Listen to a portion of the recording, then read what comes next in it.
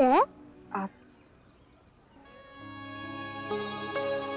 आप आप यहाँ आप यहाँ कहीं पास में ही रहते हो बेटा? और और वो जो अ, आपकी दीदी थी क्या नाम था उनका? हाँ बीना दीदी। वो कहाँ है? अक्षरा। अरे वो- अक्षरा कहाँ पर है? आप कहाँ भी वो कहाँ थी आप अक्षरा? अब यही थी माँ इसे क्या हुआ? रो रहा था बेटा अब ठीक है।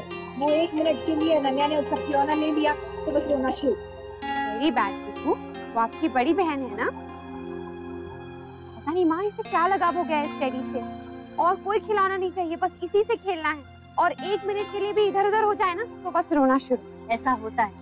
हमें ऐसा लगता है कि बच्चे कुछ नहीं समझते। लेकिन बच्चे सब समझते हैं। ये लो। बस खुश।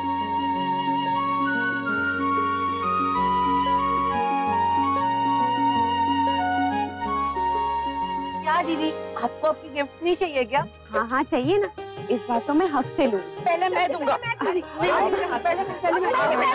पहले मैं तो मज़ाक कर रही थी। आप सब लोगों ने तो उस दिन मुझे गिफ्ट दिए थे ना? वो तो सिर्फ़ माँ बाबू जी से और काका काकी से लिए थे।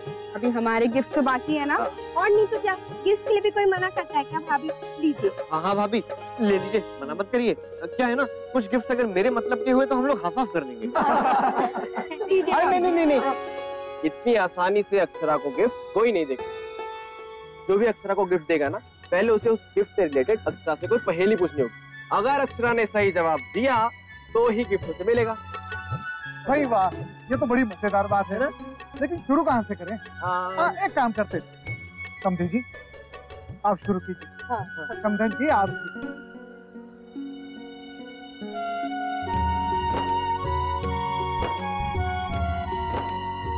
हर मुश्किल में जो देते साथ सर पर हो जब उनका हाथ बन जाए हर बिगड़ी बात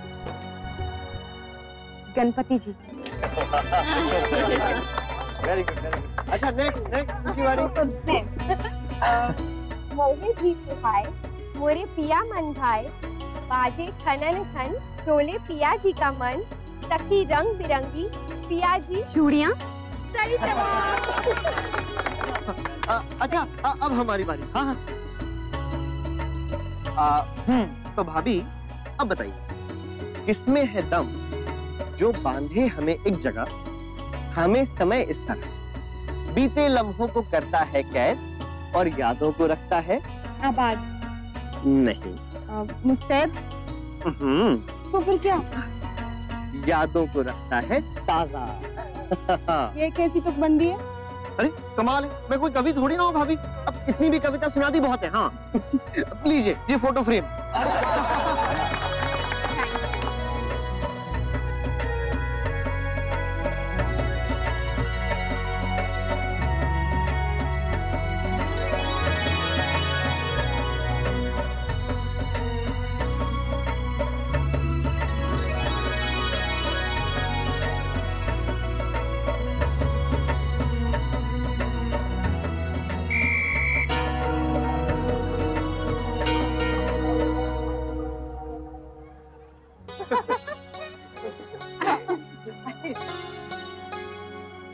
वर्षा? क्या हुआ? तू इतनी थकी थकी क्यों लग रही है? अरे स्कूल में आज बहुत काम था ना। फ़ंक्शन की तैयारियाँ चल रही हैं। बस इसलिए। बच्चों को पीछे भाग भाग के बहुत थकान हो गई है। लेकिन वर्षा बेटा तुम क्यों भाग रही थी बच्चों के पीछे?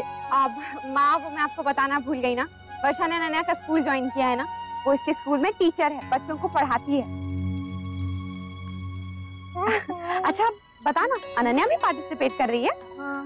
प्रैक्टिस तो करवा रही हूँ। लेकिन बहुत डर लग रहा है। पता नहीं वहाँ पर स्टेज पे ठीक से बोलेगी भी या नहीं। बोलेगी तू परेशान मत हो। है ना अनन्या? तो जानती ही नहीं। कितनी मूडी है। और बच्चों को देखना कितने अच्छे से अपनी लाइन बोलते हैं। और इसे उसके पीछे भागना पड़ता है। मैं तो चाहती हूँ ये फ़र्स्ट आए आ जाएगी। तू इतना टेंशन मत ले। अरे चलो चलो भाई बगीचा बंद होने का समय हो गया है। हाँ बहुत चलो इस समय मच्छर निकल आएँगे और लल्ला के लिए ठीक नहीं चले। धनिया?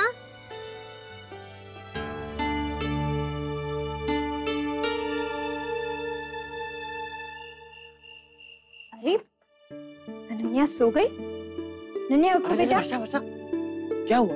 क्यों उठा रही सोने तो थकी हुई है। सॉरी बस पाँच मिनट। रिहर्सल करवा लो ना उसके बाद सुला क्या? इस वक्त? वो भी उसे नींद से उठा क्या हो गया वर्षा तुम्हें? शौर्य आप समझ क्यों नहीं रहे हैं? अरे अगर रिहर्सल नहीं करेगी तो स्टेज पे भूल जाएगी। तो वर्षा कौन सी आफत आ जाएगी हाँ? शौर्य ये सब मैं अनन्या के लिए कर रही हूँ। मैं चाहती हूँ वो फ़र्स्ट आए सब उसकी तारीफ़ करें। नहीं वर्षा तुम चाहती हो कि सब तुम्हारी तारीफ़ करें। वर्षा जी की बेटी फ़र्स्ट आई। शौर्य आप ये बस।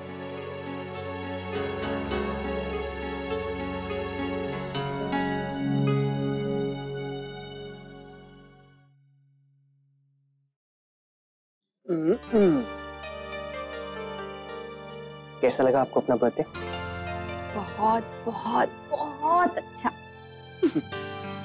थैंक यू आपके लिए गिफ्ट थ्री इन वन मतलब?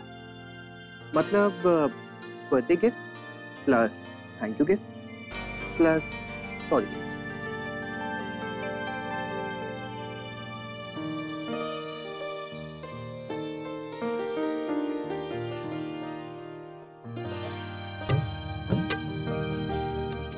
सुंदर है। आपके थैंक यू इसे मैं हमेशा अपने पास रखूँगी।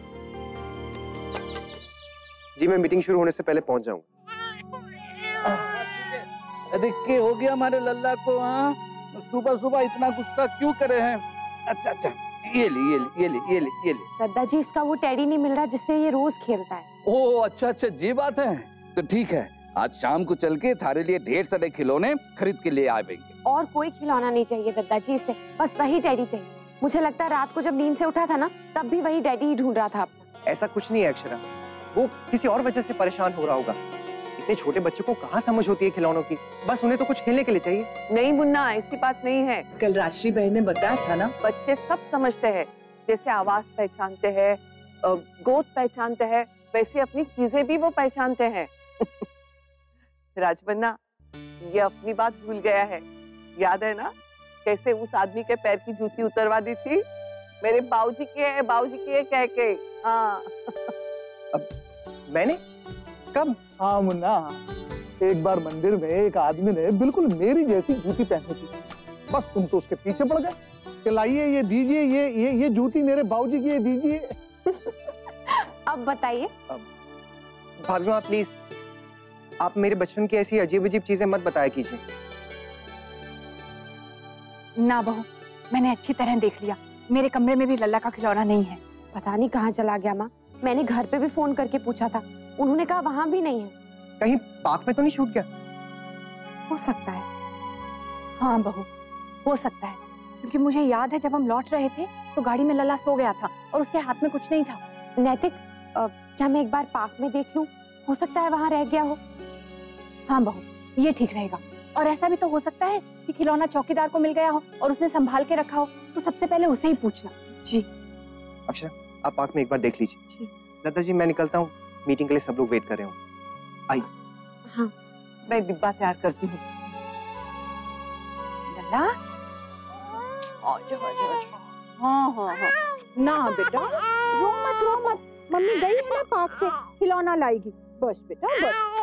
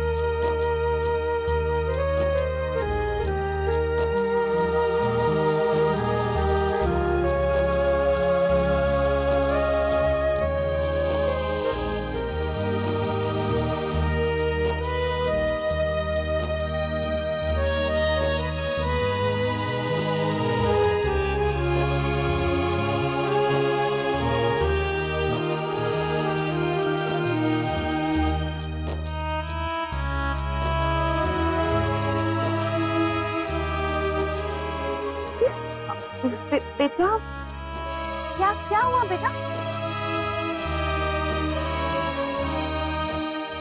दीदी प्लीज़ आप मुझे छोड़ के मत जाओ। नहीं तो वो वॉचमैन अंकल उसे देख लेंगे तो बहुत मारेंगे। नहीं नहीं बेटा कोई कोई कुछ नहीं। मैं मैं हूँ ना डरने की कोई बात नहीं है। प्लीज़ आप मुझे छोड़ के मत जाओ। ये नैतिक फ़ोन क्यों नहीं उठा रहे? क्या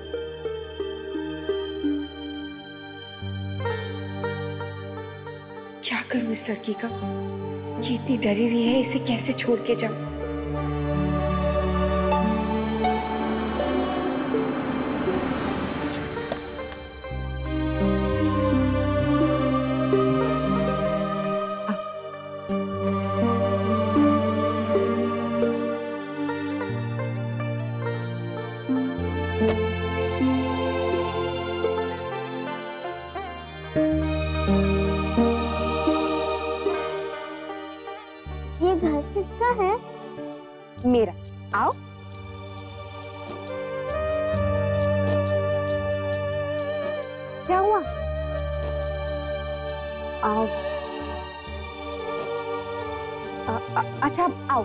वहाँ बैठते हैं। आज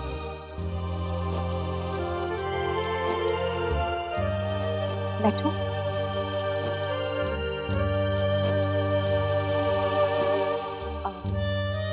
यहाँ पे ठीक है ना?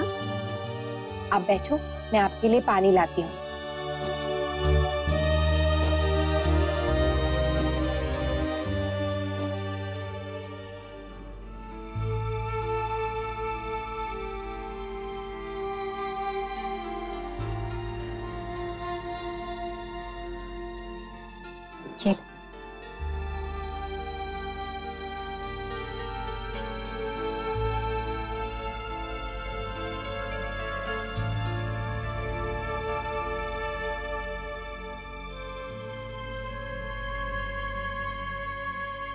बेटा आपका नाम क्या है?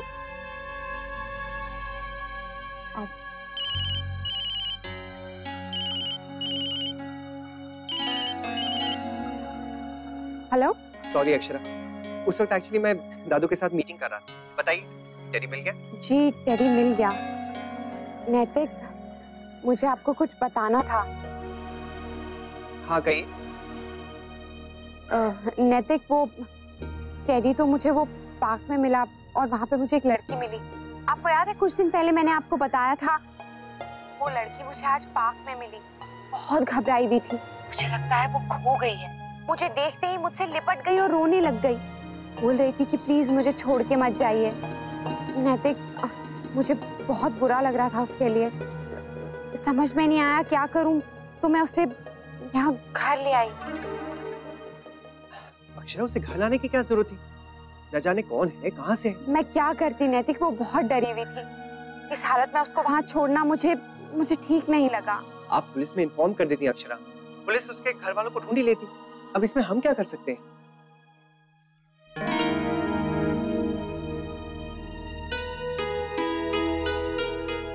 बहू? नैतिक मैं आपको बाद में फ़ोन करती हूँ। ठीक बाय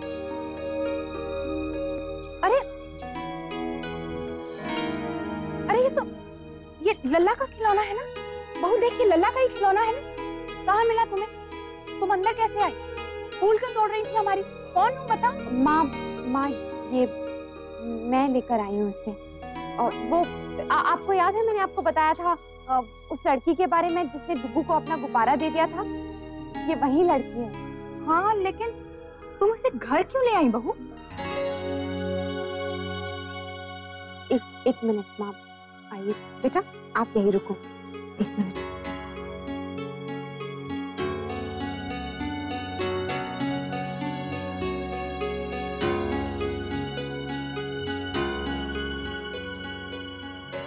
पर मुझे कुछ नहीं सूझ रहा था तो मुन्ना से फ़ोन करके पूछ लेती, या फिर बगीचे के चौकीदार से। चौकीदार से ही तो डरी हुई थी ये।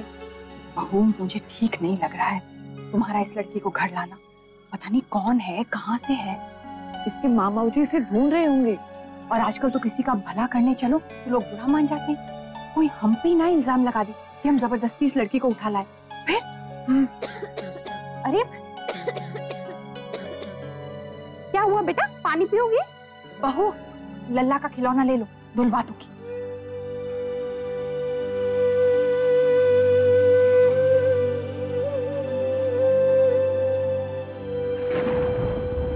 अरे, लगता है बारिश होने वाली है। चलो, अंदर चलो, नहीं तो भीग जाएँगे। जी।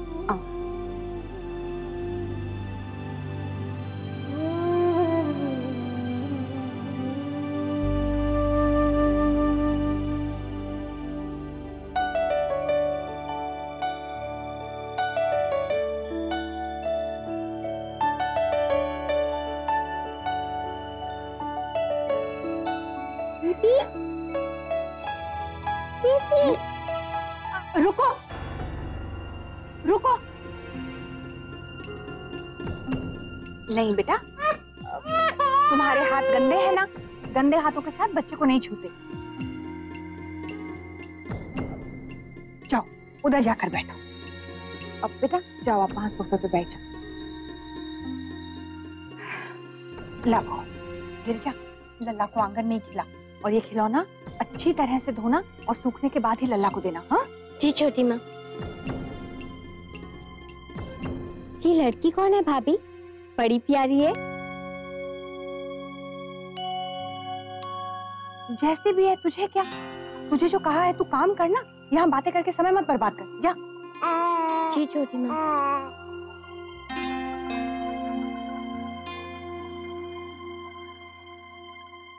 बहू मुझे इस लड़की का घर में होना बिल्कुल अच्छा नहीं लग रहा हाँ। पर हो सकता है कि लड़की भले घर की हो और सचमुच खो गई हो। भगवान करे इसके घर वालों का पता ठिकाना जल्दी पता चल जाए और हम उसे सही सलामत घर पहुँचा सके। हाँ भाभी माँ, वरना हमें ही चिंता लगी रहेगी। आजकल तो ऐसे ऐसे किस्से सुनने को मिलते हैं। लोग बच्चों का इस्तेमाल करके पैसे ऐंठने की कोशिश करते हैं।